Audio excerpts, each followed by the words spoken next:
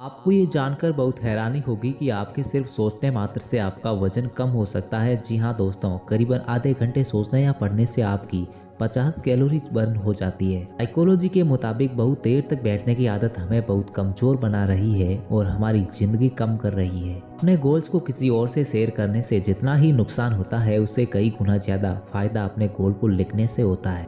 अगर आपको सोने में दिक्कत हो रही है तो उसका एक कारण रूम का तापमान भी हो सकता है, आपको एसी या फ़ैन बढ़ाने की ज़रूरत हो सकती है अगर आप किसी के साथ बात करते हो, उस समय सामने वाला व्यक्ति कोई शब्दों को कम बोल रहा हो, और आप चाहते हो कि वो इन शब्दों को ज़्यादा बार बोले तो बस आप मुस्कुराने के लिए तैयार हो जाएँ।